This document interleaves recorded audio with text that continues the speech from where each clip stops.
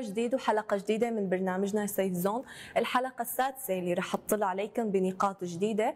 رح نحكي فيها عن الذكاءات المتعددة عند الطفل إيش هو مفهوم الذكاء وكمان أنواعه وشلون عم يتم تنمية كل ذكاء. هالنقاط ونقاط أخرى رح نتناقش فيها مع المهندسة فاتن فرج مديرة مركز دعم نفسي للأسرة بالقامشلي. يسعدني أرحب فيكم مشاهدي سوبورو تي في.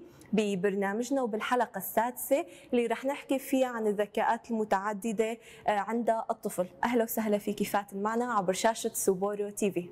يسعد أوقاتك برسا أنت وكل متابعين قناة سوبورو تي في. أهلا وسهلا فاتن مرة ثانية بحلقة جديدة من برنامجنا. بالبداية فاتن خلينا نحكي عن مفهوم الذكاء. إيش هو مفهوم الذكاء؟ شلون عم يتم تنميته؟ وكمان تصنيفاته حسب ما هو متداول بالمجتمع. وتنقول كمان هل هو هذا الذكاء هو مرتبط بالتحصيل العلمي أم لا؟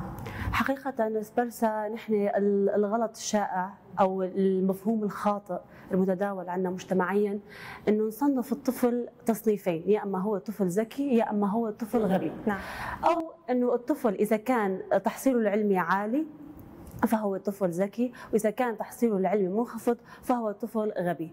طبعا هذا التصنيف هو تصنيف واحد من مجموعة من التصانيف اللي لها علاقة بالذكاء. اولا بالنسبة لموضوع الذكاء عندنا نظرية الذكاءات المتعددة أثبتت إنه عند الطفل وعند أي شخص أكثر من نوع من الذكاء. هو ينقسم لثمان أنواع من الذكاءات. طبعا نظرية الذكاءات المتعددة أو الحلقة الخاصة بالذكاءات المتعددة عند الطفل موجهة لكل شخص موجهة لأولياء الأمور موجهة للمدرسين بالمدارس وللطفل نفسه لحتى هو يعرف قدراته والذكاءات اللي عنده ويعرف يتعامل معه. بناء على نظرية الذكاءات المتعددة كل شخص في عنده ثمان أنواع من الذكاء.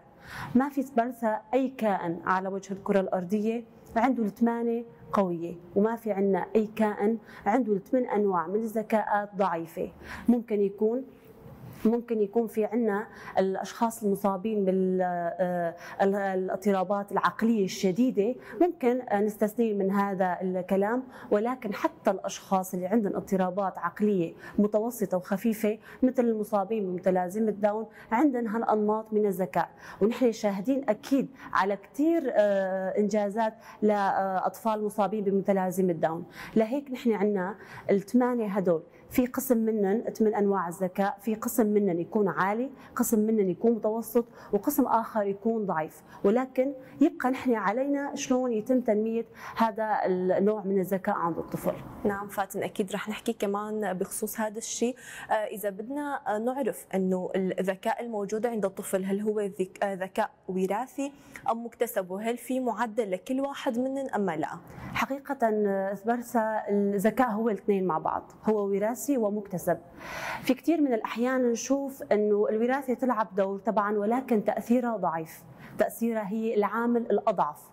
تأثير العامل المكتسب هو الأقوى تأثير العامل الوراثي في كثير من الأحيان تشوفي شخص قادر أنه يكتب شعر قادر أنه يكتب كتابات رائعة لأنه إذا رجعتي لتاريخ العائلة شوفي العائلة كلها أدباء وشعراء فهذا الشيء توارثه من أهله. ولكن كل الأنواع إذا ما تم تنميتها فالطفل ما راح يبدع ما راح نحس إنه هو طفل ذكي. ولكن نحن قادرين إنه نخلي هذا الطفل يكتسب أنواع الذكاء. إذا نحن اشتغلنا على الطفل ونمينا هذا الذكاء عند الطفل. تمام. بهاي الحالة شلون عم ينمو عقل الطفل؟ آه كثير حلو سؤال كيس برسا نحن لحتى نعرف آه موضوع الذكاء كثير كويس نركز على النقطة البدائية اللي هو نمو آه مخ الطفل. حقيقة مخ الطفل وزنه تقريبا عند الولادة 300 ل 350 جرام. يتطور مخ الطفل لبين ما يوصل لمرحلة المراهقة ويكتمل أيضا وزن مخ الطفل في فترة المراهقة هو 1300 تقريبا أو 1250 جرام يعني تقريبا فرق كيلو كامل بين مرحلة الولادة وبين سن المراهقة. لهيك معناتها نحن عندنا المخ عند الطفل عم ينمو. مخ الطفل يحوي على خلايا عصبية إسبرسا. هاي الخلايا العصبية بالعادة عند الطفل في لحظة الولادة يكون ربع مخ الطفل فقط هو الناضج الربع بس هو مكتمل. الربع اللي يكون مكتمل تكون الخلايا العصبية بهذا الربع محاطة بمادة دهنية. هاي المادة الدهنية هي مادة عازلة للخلايا العصبية تسمح بنقل النبض العصبية أو السيالة العصبية مثل إحساسه مشاعره ردات فعله. نشوف إذا الطفل حط إيده على الصوبيا رأسا آه، يرجع لورا. نتيجة هاي السيالة العصبية. فنحن إذا عندنا ربع دماغ الطفل فقط مكتمل أو ناضج أو آه، عم ينتقل أو آه، فينا نقول إنه ربع بس آه، الخلايا محاط بهاي الماده الدهنيه والربع الآخر أو القسم عفوا الآخر يكتمل خلال مراحل حياة الطفل. مراحل حياة الطفل يتم طبعا نضج ونمو. هاي المادة الدهنية آه، يتم نضجها عن طريق المهارات المعرفية والحركية عند الطفل. اللغة المشي الحركة نشوف طفل يتعربش بس لحتى يوصل للعبة يتسلق الكنبات لحتى يوصل للعبة أو لحتى يوصل للهدف اللي هو يريده. فنحن بهاي الحالة لازم نكون واعيين لنقطة كتير مهمة أنه نحن دماغ الطفل أو المخ عند الطفل في لحظة الولادة يبلش ينمو. ما نستنى آه، لبعد سنة سنتين. أو نستنى لبين ما الطفل يحكي. لا. اولا الطفل في لحظة الولادة يبلش دماغ الطفل ينمو وهيك على مدار حياته. في نقطة كثير مهمة حابة أركز عليها إنه بدماغ الطفل في عندنا ما يسمى نوافذ التعلم. آه اسمها نوافذ التعلم لأنه في سن معين هاي النوافذ تتسكر ممكن تتسكر نهائيا. نحن لما الطفل يوصل لعمر ست سنين آه هاي النوافذ في قسم كثير منها آه يتسكر ما بقى قابل إنه يكتسب. طبعا آه، آه، تتنمى أو نحن نشتغل على الطفل لحتى هاي النوافذ تتغذى من خلال التواصل والحوار مع الطفل اللي نحن نضل دائما نركز على أهميته. الطفل يسمع الإدراك السمعي عند الطفل يقوى فبالتالي مراكز اللغة أو اللغة عند الطفل تتطور. الطفل يشوف أمه هي عم تحكي أو هي عم تطبخ فهو يحاول يقلدها. فبالتالي المهارات الحركية عنده تتنمى. مهارات الطفل تتنمى بهاي الطريقة. أو نقدر نقول مراكز الإدراك عند الطفل تتنمى بهاي الطريقة. لما أنا يوصل عندي الطفل لعمر أربع سنين ولهلأ ما حكى فهون في عندنا مشكلة إنه نحن ما تابعنا الطفل. ممكن الطفل عم يستعمل كثير وسائل تواصل اجتماعي. ممكن البيئة المحيطة بالطفل بيئة فقيرة. الأم فاضيه تحكي مع الطفل. ممكن إذا الطفل رايد تتعربش يوصل لهدفه أو يوصل للعبه تبعه أو يفتح الخزن تبع المطبخ لحتى ينبش ويطالع الأغراض. الأم تسكر الخزن. آه، كل آه، كل الخزاين يكون في عليها قفل تكون مقفولة بمفتاح بحيث إنه الطفل ما ينبش وما يطالع الموجود جواته. طبعا أكيد نحن نقدر إنه هذا الأمر متعب بالنسبة للأم ولكن هذا هو أو هاي هي الطريقة اللي ينمو فيها الطفل. لأنه نحن نرجع نركز على نقطة في عندنا نوافذ للتعلم عند الطفل. إذا ما نضجت لعمر الست سنين راح تضل مسكرة. سواء باللغة سواء بالإدراك الحسي سواء بالإدراك السمعي سواء بالإدراك البصري سواء بالحركات.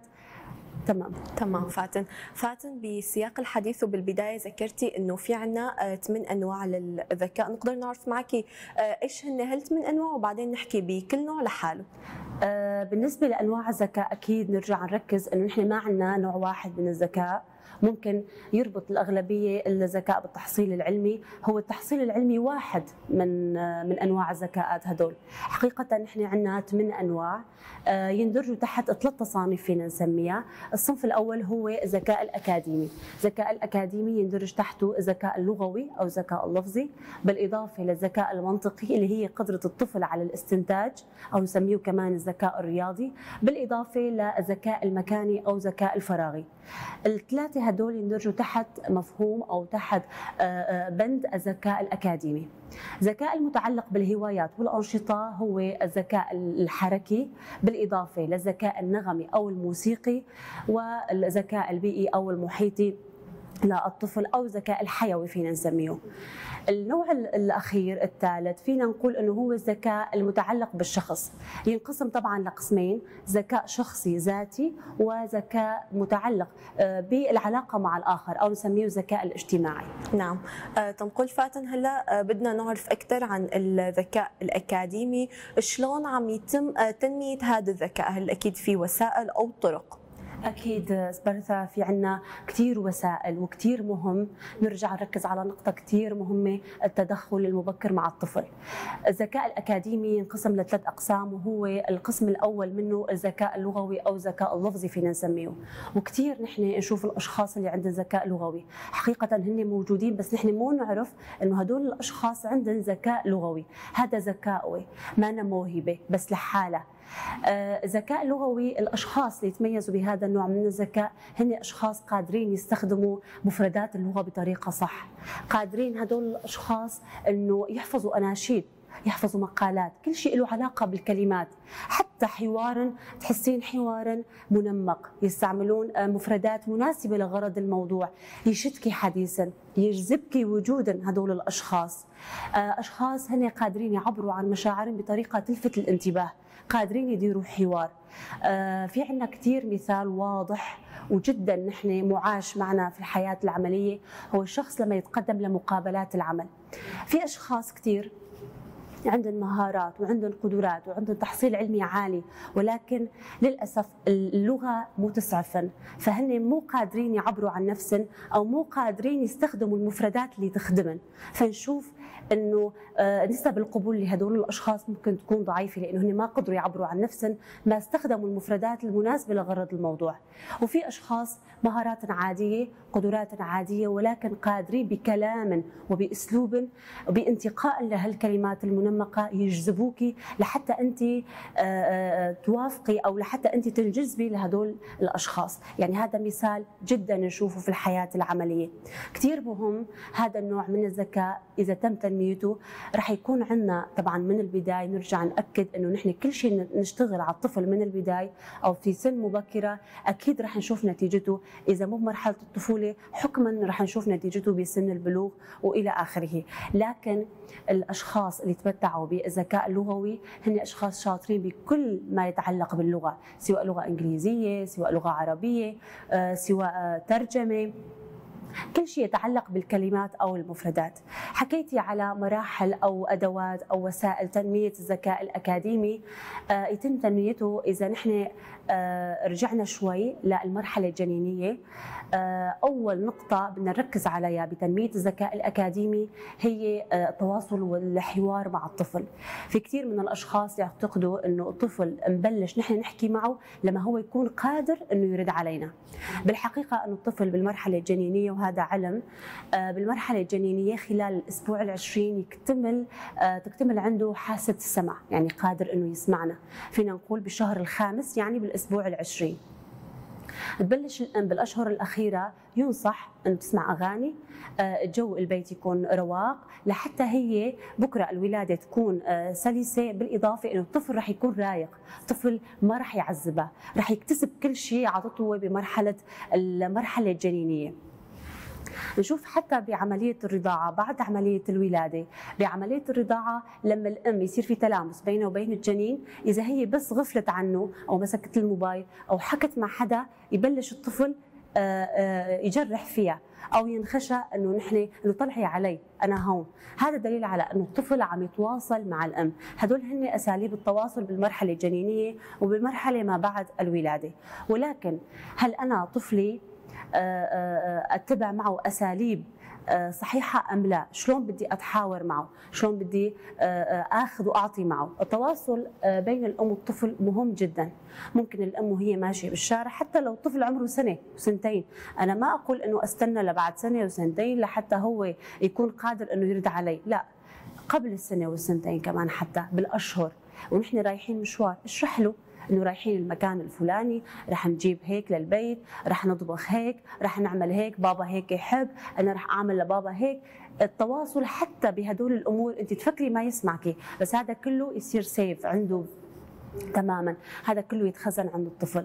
بالإضافة للام آه، ممكن تتبع أساليب ثانية مثل رواية القصص. في عندنا قصص مصورة للأطفال ممكن الأم تستخدمها بالمرحلة الأولى هي تروي القصة للطفل. آه، بعدين يصير إنه الطفل هو آه، يقدر تشجعه طبعا تشجعه إنه يقرأ القصص. ممكن تجيب له قصص مصورة ممكن تجيب له روايات بس يكبر بالعمر. كل مرحلة عمرية مستوى القراءة تبعها يكبر على حسب العمر. يعني اولا هي تقرأ بعدين تبلش تشجعه لحتى هو يقرأ تشجعه إنه تجيب له روايات تشجعه إنه تجيب له قصص طبعا مناسبة أكيد لعمره. وفي المرحلة اللاحقة ممكن إنه هو يبلش يقرأ لحاله قصص وروايات هو يحبها. آه، ممكن كمان نتبع آه، أسلوب مع الطفل إذا فينا نحن نستخدم الألعاب هدول. إذا الطفل ما حب آه، فكرة القصص ممكن نستعمل الألعاب هدول ونعمل قصة من خلال الألعاب هدول. فهي وسيلة جدا محببة للطفل. الطفل رح ينجذب رح يكون مجال الاستمتاع تماما. رح يكون مستمتع وكمان رح يتخزن هذا الشيء لأنه عم يشوف شيء مجسم. أمامه. فممكن رواية القصص كمان تكون عن طريق ألعاب الدمى هدول. تمام. أكيد فاتن حكينا عن أول نوع من أنواع الذكاءات وتصنيفاته. رح نكمل بالذكاءات الثانية ولكن مشاهدي سوبورو تي في بعد ما نرجع من ال break.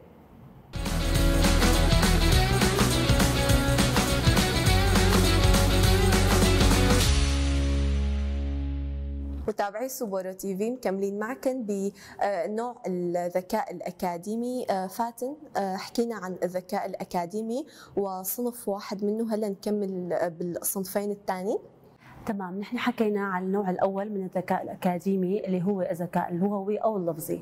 النوع الثاني من الذكاء الأكاديمي أو اللي يندرج تحت آه، بند الذكاء الأكاديمي هو الذكاء المنطقي أو الذكاء الاستنتاجي. الذكاء المنطقي يتمتع الأشخاص اللي عندهم ذكاء منطقي أو استنتاجي. هن أشخاص عندهم قدرة كثير كبيرة على الاستنتاج. عندهم قدرة على إنه كل شيء يحاولوا يستفسروا عنه. آه، يعني فينا نقول هن أشخاص مو قادرين يحفظوا بصم هن أشخاص استنتاجية. تمام.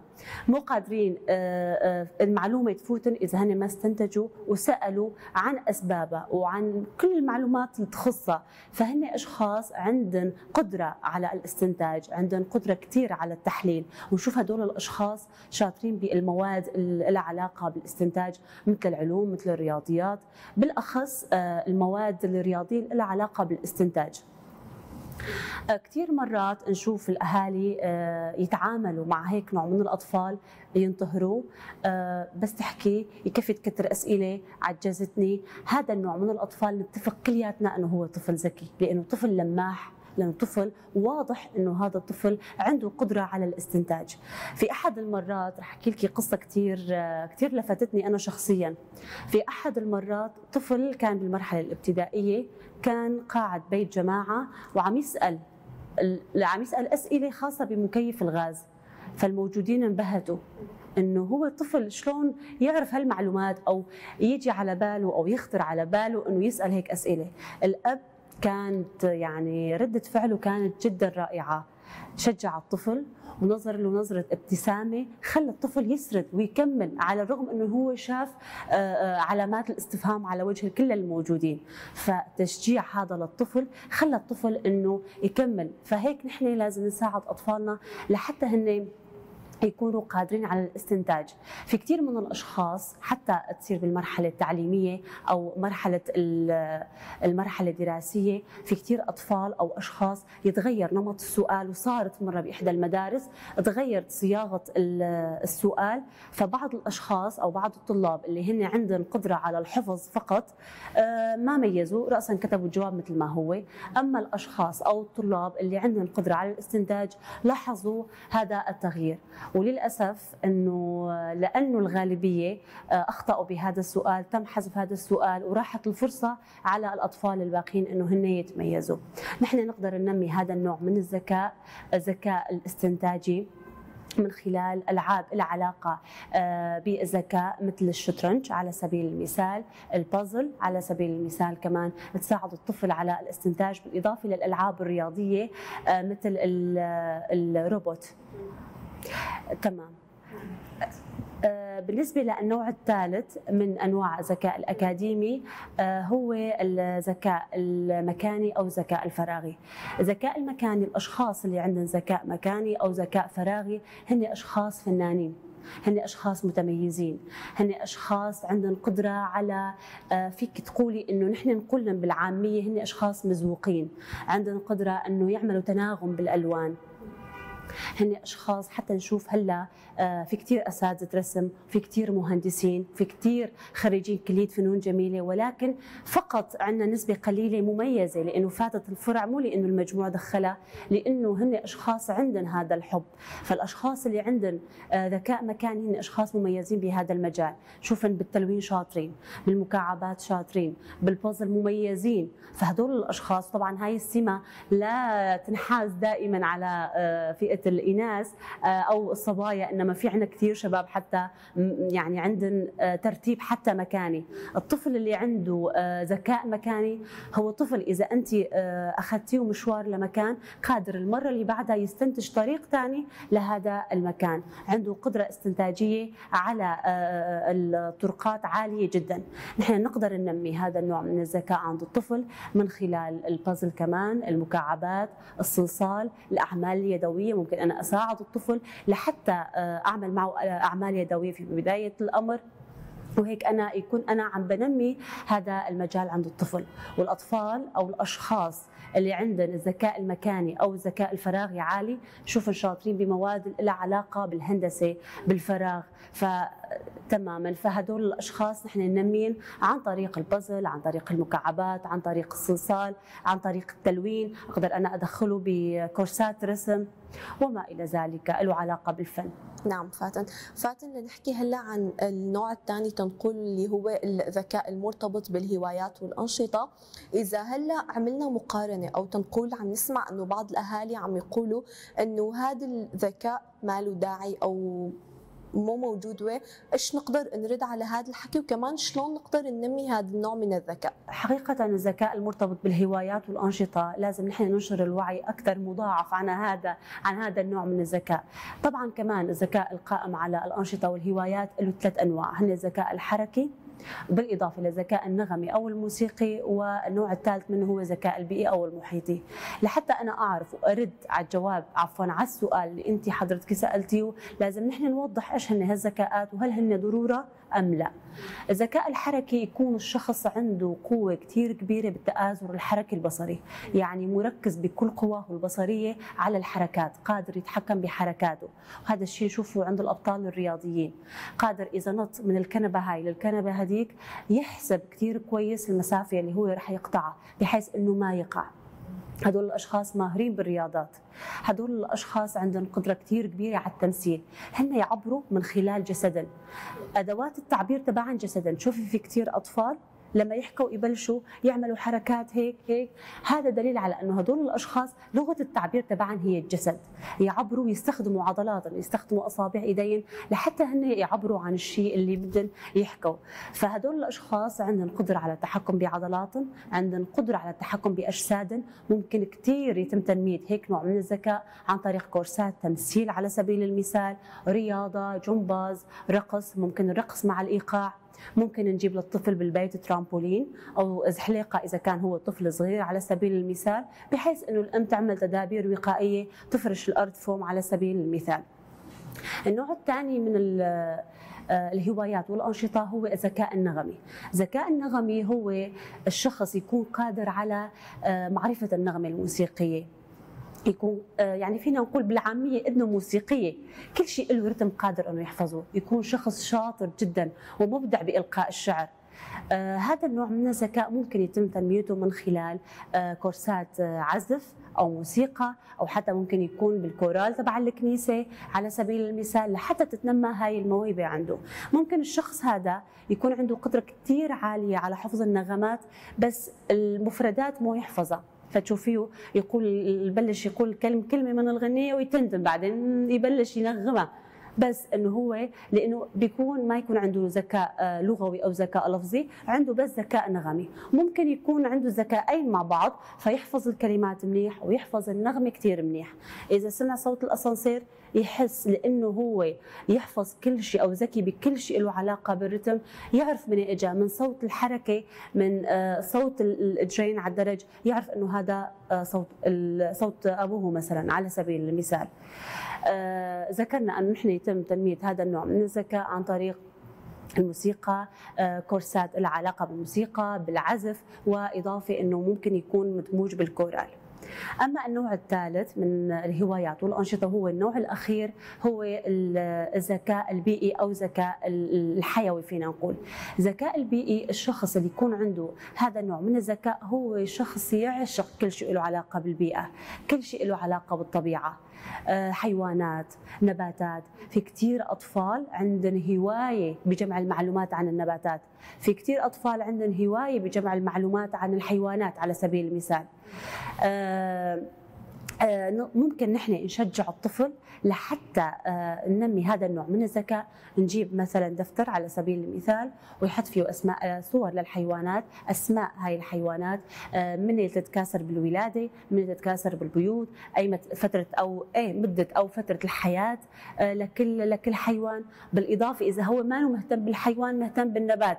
ممكن مواعيد زراعة هذا النوع من النبات إيش قد يعيش شلون الآلية حتى هو يتغذى آه، إيش التدابير اللي لازم أنا اعملها وكل ما يخص النباتات هو يعشق شيء له علاقة بالنباتات والحيوانات أو كل شيء له علاقة بالطبيعة وبالبيئة. أه شلون أشجع الطفل مثل ما ذكرنا إنه أنا أشجعه بحيث إنه نعمل له مذكرة، نعمل له دفتر يحفظ هاي المعلومات جواته. ذكرتي إنه ممكن في أهالي يقولوا ما في داعي لهذا النوع من الذكاء، الذكاء المرتبط بالهوايات أو الأنشطة ما في داعي يتنمى عند الطفل طالما هو ما له علاقة بالتحصيل العلمي. اولا نحن آه، لحتى آه، ننمي هذا هذا الجانب عند أطفالنا لازم نتذكر شغلة كثير كثير منيحة إنه نحن ممكن هلأ نكون مثال لأطفالنا، مثال لحالنا بالمرتبة الأولى، ممكن نحن بعمرنا هذا نتحسر على أيام فاتت نحن ما تعلمنا فيها على آلة موسيقية. نتحسر على كورال كان لازم ندخله ولإنه نحن ما دربنا صوتنا ما دخلنا. فنحن راحت علينا هاي الفرصة. نتمنى إنه نعوضها بأطفالنا. بالإضافة أنا عم بنمي عند الطفل شيء هو يحبه. ولا سيما إنه ممكن هذا الشيء يحبه يصير جزء من مستقبله. يعني أين المشكلة إذا هو كان طبيب ورسام؟ على سبيل المثال. ممكن بكرة أضخم المعارض تستدعيه. يكون قصة نجاح يصير مضرب المثل بالمجتمع إنه هذا الطبيب هو فنان هو مبدع بالرسم. أو يكون شخص آه، مهندس أو جامعي ومبدع بالموسيقى. بكرة كل الاحتفالات الخاصة بالكنيسة أو برا الكنيسة رح يستدعوا هذا الشخص لحتى يستفادوا من الخبرات اللي عنده. فنحن إهمالنا لهذا الجانب. رح يروح كثير فرص على هذا الطفل. ممكن كثير تكون جزء من مستقبله فيما بعد. أكيد فاتن نقاط كثير مهمة ذكرتيها بالنسبة للذكاء تنقول آه، تبع الأنشطة والهوايات. وكمان مهم أنه الأهل يتفهموا هذا الشيء وينموا هذا الجانب عند أطفالهم. آه، تنحكي فاتن كمان على النوع الثالث من أنواع الذكاء اللي ذكرناها. هو مرتبط بالشخص نحكي على كل تصنيف وتنمية كل تصنيف أيضا. الذكاء القائم على الشخص يعني ذكاء بالغ الأهمية. آه، رح نقسمه لقسمين هو الذكاء الشخصي أو الذاتي والذكاء الاجتماعي. الذكاء الشخصي أو الذكاء الذاتي هي أنا معرفتي لنفسي هي وعي بذاتي أنه أنا أعرف مشاعري تمام؟ وأعرف شلون أتعامل معه وشلون أديره. راح اعطيكي مثال. نحن بكثير من الأحيان نتصرف تصرفات نندم عليها لأنه نحن انفعلنا بموقف ما كان في داعي هالانفعال كله. أو حتى على النقيض تماما ممكن حتى نحن بفترات أو بلحظات الفرح نعمل ردات فعل ورياكشن مبالغ فيه. لأنه نحن ما سيطرنا على وما ضبطنا مشاعرنا وما سيطرنا على مشاعرنا.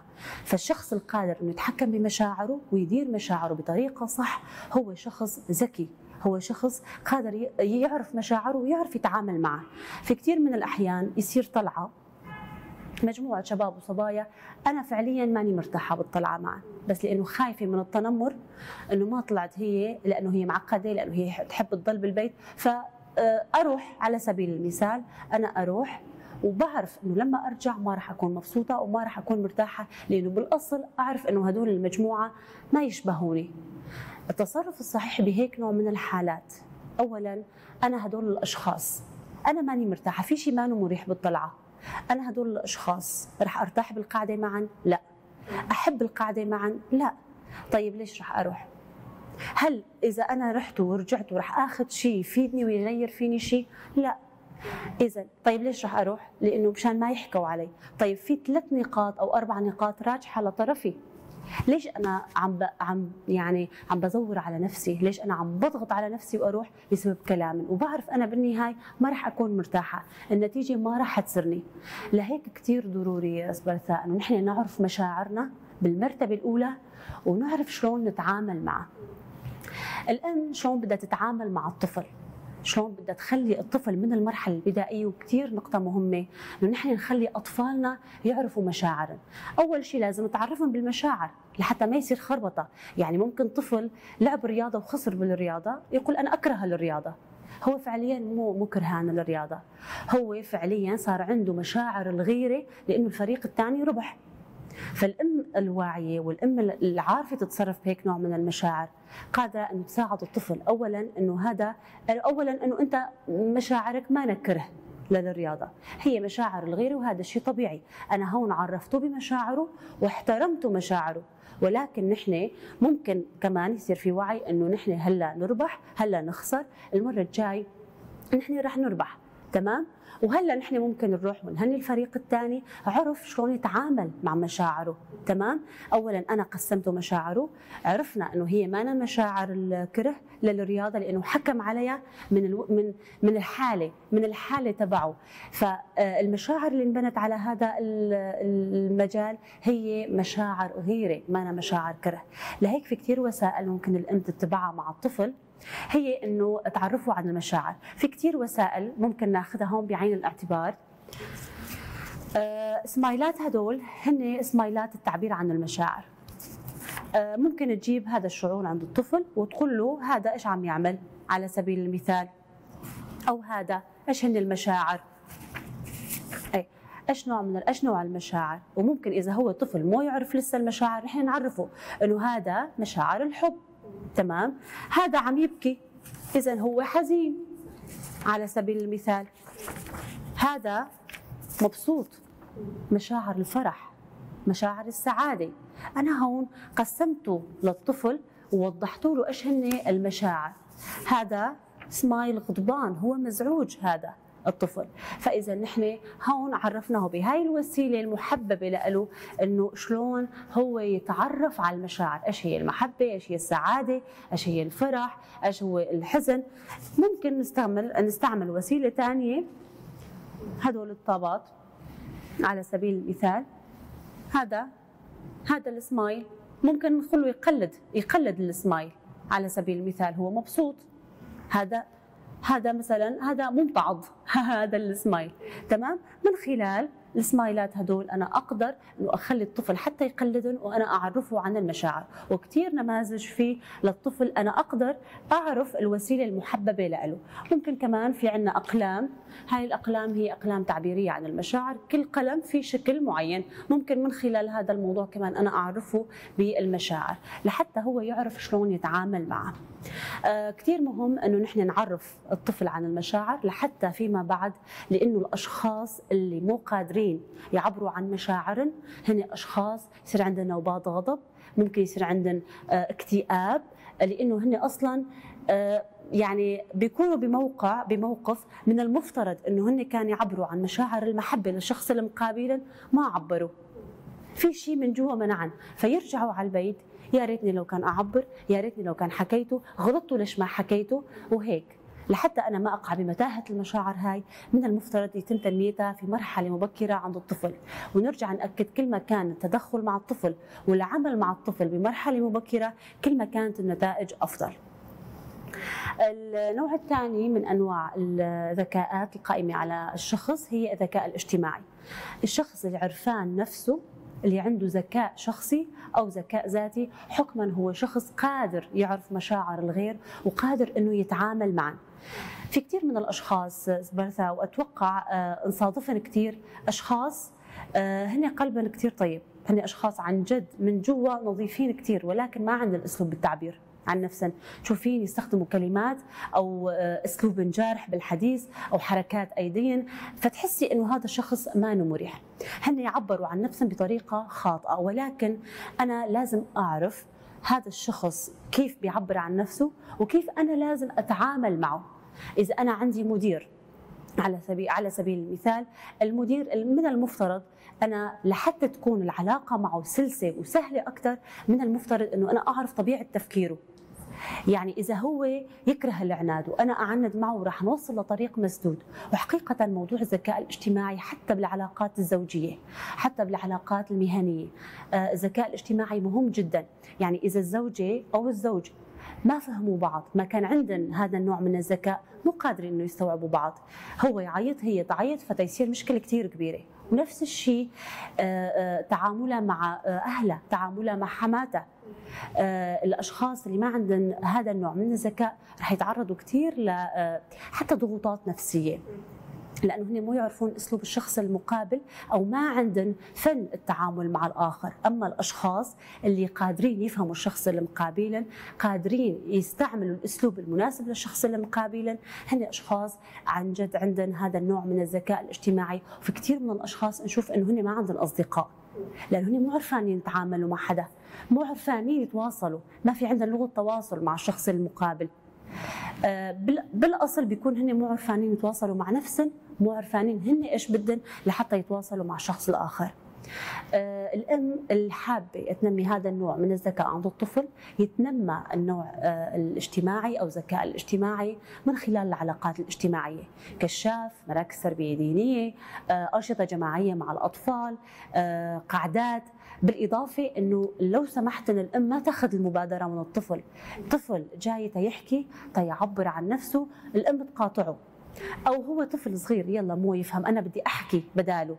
فتترك زمام المبادرة وزمام الحديث لها هي وتبعد الطفل عن الواجهة، تعلموا أساليب التواصل الاجتماعي يعني إذا أن إذا أنت فايت لمجموعة، فايت على آه، آه، مكان اجتماعي، حلو إنه تسلم وتقول له مرحبا، إذا عيد لازم تقول لهم كل سنه وأنتم سالمين وأنا أشجعه. ولما يفوت هو ويعيد أو يفوت ويقول لهم كل سنة وأنتم سالمين المفروض أنا أبين مظاهر الفرح لهذا التصرف اللي هو تصرفه. ممكن أنا أقول خلص عادي إذا قالوا ما قال هن ما راح ينتبهوا هن ما راح ينتبهوا أو هن ما راح أكيد يعاتبوا هذا الطفل الصغير. بس هو راح آه، يتنمى هذا الذكاء عنده إذا انت تصرفتي هذا التصرف.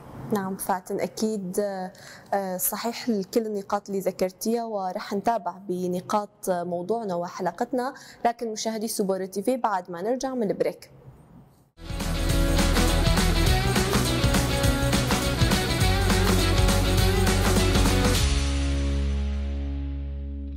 مشاهدي Suboro TV بعد ال break متابعين معكم بنقاط موضوعنا حول الذكاءات عند الطفل.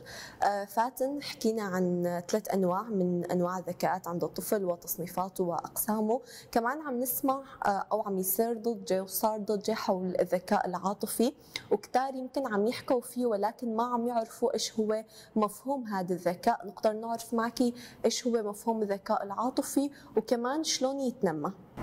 أه، حكينا أه، اسبرتا عن الذكاء الذاتي والذكاء الاجتماعي. تكامل الذكاء الذاتي أو الذكاء الشخصي مع الذكاء الاجتماعي ينتج عنا ما يسمى بالذكاء العاطفي.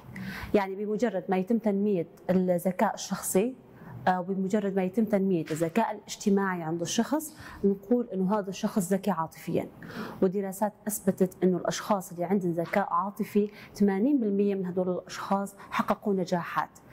على خلاف الجانب الأكاديمي. في كثير من الأشخاص بارعين في أشخاص كثير عندهم قدرات تعليمية وتحصيل علمي عالي ولكن ما عندهم ذكاء عاطفي. فهدول الأشخاص ما قدروا يكونوا من هدول الأشخاص الناجحين للأسف. فنحن تنمية الذكاء الشخصي الذاتي عند الطفل. تنمية الذكاء الاجتماعي مثل ما حكينا على وسائل التنمية راح تعطينا بالنتيجة الذكاء العاطفي اللي هو بالأصل آه، المفروض يتنمى عند الطفل بسنوات مبكرة لحتى نحصل نحن على شخص بالغ قادر أنه يكون في عنده هذا النوع من الذكاءات الاجتماعية سواء آه، عفوا الذكاءات العاطفية سواء كان بمكان العمل أو سواء كان مع ذاته. في كثير بس رح أنوه على نقطة من بعد إذنك. في كثير من الأحيان الطفل مو أنه ياكل الأم تخصبه على الأكل. في كثير من الأحيان آه، يبكي الطفل. تعطيه الأم ايباد موبايل لحتى بس يسكت. في كثير من الأحيان يتصرف أي تصرف الأم تحاول تلهيه بس مشان يوقف. أو تنعته بأنه لا تبكي أنت رجال الرجال مو يصير يبكي. عم تعمل بهاي الحالة تخدير لمشاعر الطفل. فإذا نحن اتبعنا هالأساليب مع أطفالنا شلون رح ينتج عندي أنا أطفال عندن أو أشخاص عندنا فيما بعد ذكاء عاطفي؟ إذا نحن ما عم نسمح لهم إنه يعبروا عن مشاعرهم مشاعرنا لما بلشوا يعبروا عنها نحن خدرناها. ما سمحنا أنه تطلع. في كثير حتى من الأحيان الطفل يكون بالسوبر ماركت أو بالشارع تجيه نوبات بكاء ونوبات غضب. مو عرفان ليش؟ لأن يصير زحمة مشاعر عند الطفل مو عرفان الشعور المحدد اللي لازم يعبر عنه. فهون واجب الأم مثل ما اتفقنا تنمي هذا النوع من الذكاء الشخصي والذكاء الاجتماعي عند الطفل لحتى ينتج عندي تكامل بين هالذكائين وينتج عندي ما يسمى بالذكاء العاطفي. رح تحصل بالذكاء العاطفي على شخص ناجح. وإن شاء الله طبعا يكون هو شخص ناجح اكاديميا ويترافق مع الذكاء العاطفي فيكون هو شخص ناجح على الصعيدين. أكيد فاتن. فاتن كمان تنقول الأهل شلون يعرفوا أنه طفلا هو يتميز أو عنده هذا الذكاء وممكن كمان أنه الطفل يكون عنده نوعين من الذكاء أو الكل. شلون يقدروا يكتشفوا هذا الشيء؟ لحتى هن كمان يساعدوه بتنمية الذكاء اللي عنده. تمام كثير حلو هذا الحكي سبرثا. أكيد الطفل بمراحل عمره المبكرة فينا نقول بسنه المبكر. ما رح نعرف نحن هذا الطفل إيش نوع من الذكاء أنا لازم أشتغل عليه. طيب هو ذكاء أكاديمي ولا هو ذكاء لفظي ولا هو ذكاء نغمي؟ عجب إيش يطلع بالمستقبل؟ عجب على أي ذكاء بدي أشتغل. فهون من واجب الأهل إنه يشتغلوا على كل أنواع بدون استثناء أي نوع. نبلش نشتغل على الطفل بدون استثناء الأنواع الثمانية وبالمستقبل هو يختار الذكاء اللي يبدع فيه أو المجال اللي هو ينتمي له. فإذا واجب الأهل إنه يشتغلوا على الأنماط الثمانية. أكيد ما أنا مهمة سهلة نرجع ننوه ما أنا مهمة سهلة ابدا ولكن طالما أنا حابة أشوف هذا الطفل اللي عنده هذا النوع من الذكاء المتعدد فأكيد أنا راح أتعب وأبذل جهد لحتى يوصل الطفل للشيء اللي أنا أريده. أيضا فاتن بدنا نحكي بنقطة أخرى مهمة تنقول أنشطة الذكاءات المتعددة إيش قد مؤثرة أو عم تساعد بالعملية التعليمية التعلم عند الطفل وأيضا كمان بتنمية الفكر عنده. النقطة المحورية أو المفصلية اللي عند الأهل أكيد هن دائما بدهم يعملوا إسقاط لكل المهارات على التحصيل العلمي. أو على الناحية التعليمية أو على الناحية الأكاديمية. الذكاءات اللي نحن حكينا عليهم الذكاءات الثمانيه القسم منهم هو خاص بالتحصيل العلمي هو الذكاء الأكاديمي. الطفل اللي يكون عنده ذكاء لغوي هو طفل مثل ما ذكرنا طفل مبدع أو هو طفل شاطر بكل ما يتعلق باللغة، لغة إنجليزية، لغة فرنسية، ترجمة، لغة عربية، شاطر بالشعر، شاطر بكل ما يتعلق بالكلمات. هو مبدع بهذا المجال. يقدر يترجم اللغة للغة بسهولة. في أشخاص كثير عندهم هاي الموهبة أو هاي المهارة أنه يترجموا من لغة للغة الذكاء اللي حكينا عليه وكمان يندرج تحت الذكاء الأكاديمي هو الذكاء المنطقي أو الاستنتاجي أو الذكاء الرياضي فينا نسميه. الطفل اللي عنده هذا النوع من الذكاء هو طفل شاطر أو طفل مبدع بكل ما يتعلق بالعلوم كل ما يتعلق بالاستنتاج بالرياضيات الرياضيات. هون نحكي عن اللي له علاقة بالمعادلات وبالاستنتاجات. أما الأشخاص اللي عندهم ذكاء مكاني أو ذكاء فراغي هن أشخاص مبدعين بمجال الهندسة أو هن أشخاص مبدعين بكل شيء له علاقة بالفراغ بالمكان وكل شيء له علاقة بالأمور الهندسية أو مادة إذا فينا نقول مادة الرياضيات ولكن قسم الهندسة الفراغية على سبيل المثال. هذا هو بما يخص التحصيل العلمي. لكن باقي الأقسام أو باقي الأصناف هي أصناف اجتماعية هي أصناف على صعيد التنمية الشخصية هي أصناف على آه، صعيد تنمية المهارات والهوايات عند الطفل. تمام كمان نقطة أخرى أخيرة رح نحكي فيها حول موضوعنا لليوم عن مدمرات الذكاء آه، عند الطفل، إيش هن هالمدمرات؟ آه، بصراحة هن ما بس مدمرات الذكاء عند الطفل، أنا من وجهة نظري هي مدمرات الطفل بحد ذاتها. مدمرات الذكاء أو مدمرات الطفل فينا نسميها هي الشاشات سواء كان تلفزيون أو موبايل آيباد وكل الوسائل لها علاقة بالشاشة الطفل لما يكون بعمر مبكر خاصة فينا نحن هيك آه، نخص بالذكر، نحن ذكرنا ببداية الحلقة إنه في عندي مراكز تعليمية رح يتم إقفالها بعمر الست سنين. أنا متخيلة هذا الطفل إذا يضل على الشاشة ماسك الموبايل إذا بدي أطلع آه، آه، زيارة بدي أعطيه الموبايل مشان يسكت. إذا بدي أطبخ طبخة مشان ما يعمل لي لبكي أعطيه الموبايل بس مشان ما يحكي. هي لأنه وسيلة جذب له. هو يستمتع بهذا بهذا المجال يستمتع بهذا الفضاء. إذا بدي إذا يجي حدا عندي آه، آه، ضيف بدي ألهي ابني وأعطيه الشاشة بس مشان يسكت بس مشان ما يعبر بس مشان ما يبكي. هاي كمان عم بخمد الشعور عنده. فأنا بهاي الحالة عزلت الطفل عن الوسط المحيط خاصة بسن مبكر. لا عم بيتواصل معي ولا حتى أنا عم بتواصل. وهي نشوفها كثير إذا كانت سيدة عاملة ما عندها الوقت أصلا هي تتواصل مع الطفل. ونشوف هون إنه في كثير أطفال يتأخر النطق عندهم لإنه ما في تواصل. لأنه الشاشة أخذت كل حياتنا أخذت كل وقتنا طفل بعمر مبكر أو حتى لما يتأخر يمسك جهاز الموبايل لفترات طويلة آه، يبقى عند التلفزيون لفترات طويلة الآيباد نفس الشيء يفقد الإحساس بالوسط المحيط. يصير شخص مقوقع على نفسه معزول عن الوسط المحيط. لا بقى يحس حتى إذا ساحوا إذا نادوا ما بقى يسمع. ما بقى في عنده هذا الشغف اللي يتعربش بأمه بس مشان هي تحمله. ما بقى في عنده. ما بقى في عنده شغف إنه يتعربش على الكنبايات لحتى يوصل للهدف تبعه. لأنه أنا أعطيتوه خمدتوه أعطيتوه هذا الجهاز وخلص. انعزل عن الوسط المحيط انعزل عن الوسط الخارجي. بالإضافة إنه نحن هون بهاي الحالة مراكز اللغة عنده تتعطل المراكز الحسية عنده تتعطل الشغف بالإنجاز عند هذا الطفل يتعطل. يا جماعة أنا هون حولته طفل طبيعي لطفل في عنده سمات توحد. طفل مصاب بالتوحد هو طفل ممكن أكتشف هو بالولادة ولد آه، آه، مصاب بالتوحد وتم اكتشافه بعد سنة سنتين اللي هو ولكن طفل طبيعي أنا بإيدي حولته لطفل عنده سمات توحد أو مصاب بالتوحد. للأسف كل ما عم يتأخر التدخل بهذا المجال كل ما يت يت يعني يتأخر آه، آه، فترة تتأخر فترة العلاج أو تتأخر السن آه، اللي لازم نتدخل فيها مع الطفل. رح تسوء الحالة. النتيجة رح تكون أكيد سلبية. 50% من الأشخاص بمجرد من الأطفال فينا نقول على وجه التحديد بمجرد ما نعدل البيئة اللي حوالين يرجعوا لطبيعتهم. بمجرد تعديل البيئة إنه نشيل أجهزة الموبايل نبلش نخلي الام تتواصل مع الطفل يصير في محاورة يصير في تواصل فترجع الأمور لمجراها الطبيعي. لأن تم اكتشاف هذا المرض أو تم اكتشاف هاي الأعراض مبكرا. لكن كل ما نحن تأخرنا هون عامل الزمن ابدا ما لصالح الأهل وابدا ما لصالح الطفل. أنا عم بحول طفل آه، له عالم خاص آه، موجود هيك ضمن قوقعة على حال معزول عن الوسط المحيط منسجم بهذا المكان اللي عم عم يحكي أكثر من لغة. عم يحكي لهجات مختلفة فمراكز اللغة عند الطفل هون تتخربط وأنا انبسط أنه ابني يقول أبل بنانا آه، أنا كثير لازم أكون حذرة بهذا الموضوع.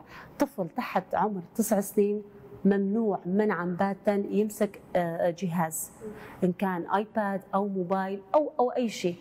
بحجة إنه ألعاب ذكاء على على الأجهزة ما في ألعاب ذكاء على الأجهزة ما في ألعاب ذكاء آه، عن طريق الآيباد. ما في ألعاب ذكاء آه، تعليمية عن طريق الموبايل. الألعاب التعليمية ألعاب الذكاء هي الألعاب الطفل يلمسها بإيده. يميز إنه هذا خشب هذا كرتون هذا زجاج لازم يميز ويلمسها بإيده لحتى يحس بهذا الإبداع.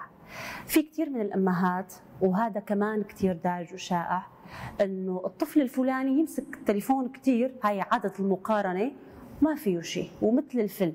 في شيء ممكن حتى يكونوا أطفال توائم آه، تأثير أحد الأطفال مو يكون مثل تأثير الطفل الثاني لأنه في أشخاص أو في أطفال في عندهم استعداد وراثي في أطفال يكونوا هن عندهم استعداد لحتى لحتى يتضرروا بهاي الأجهزة. أكثر من أطفال ثانيين، لهيك المقارنة بهذا المجال، طبعا المقارنة بشكل عام هي مرفوضة، فما بالك أنت عم تقارني طفلك بطفل هو عم يستخدم أجهزة كثير وما عم بيصير معه شيء، وأنت طفلك آه، عادي يلا هو كمان ما راح يصير عنده شيء، لا لازم نحن كثير نكون واعيين إنه في أطفال عندهم استعداد وراثي لحتى يتضرروا بهاي الأجهزة. إذا كان ولا بد إذا كان ولا بد إذا كان ولا بد المرة الثالثة يمسك الطفل الجهاز تحت عمر تسع سنين أو يتفرج على التلفزيون فمو أكثر من نصف ساعة ولما يصير عمره أربع سنين أقل شيء وأكثر من نص ساعة باليوم يعني رح تأثر أكيد تأثير سلبي عند الطفل. أكيد فاتن بختام حديثنا فاتن وبكلمة أخيرة إيش تحبي تقدمي رسالة أو تنقل توصيات وتوجيهات لكل العوائل والأهالي اللي عم يتابعونا عبر شاشة Suboro TV؟ هلا بداية نوجه اعتذار للأب اللي دائما هو مظلوم بحديثنا، دائما نحن هيك تدريجيا الحديث يروح للأم ونوجه الحديث دائما للأم، ولكن أكيد عزيزي الأب الحديث موجه لك أنت كمان. آه لأنه عملية التربية هي عملية مشتركة بين الأب والأم، وعملية التربية ما عملية سهلة أبدا. آه بدها جهد، ولكن بالمقابل معنا شيء مستحيل. آه الطفل بدي أشبه لك تشبيه. أتمنى يضل هيك عالق بأذهاننا الطفل مثل المطمورة. نحن إيش قد ما نحط مصاري بهاي المطمورة؟ يوم يومين ثلاثة عشرة بعد شهرين ثلاثة رح نشوف. رح نشوف نحن إنه في مصاري بهاي المطمورة. الشيء اللي حطيناه ورح نشوفه. إذا أنا ما عم بحط شيء بهاي المطمورة شلون أتوقع بعد شهرين وثلاثة أجي ألاقي فيها مصاري؟ فالطفل نفس الشيء الطفل مثل هاي المطموره إذا نحن ما حطينا جوات هذا الطفل طبيعي إنه بعد شهر وشهرين وثلاثة ما ألاقي نتيجة الشيء اللي حطيته لأنه بالأصل أنا ما حطيته ولا شيء.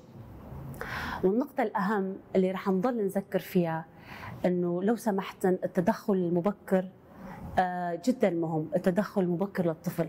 أي أعراض أي سلوكيات نشوفها ما طبيعية عند الطفل نلجأ للأخصائي آه، إن كان آه، طبيب أو أخصائي نفسي لحتى هو يتدخل.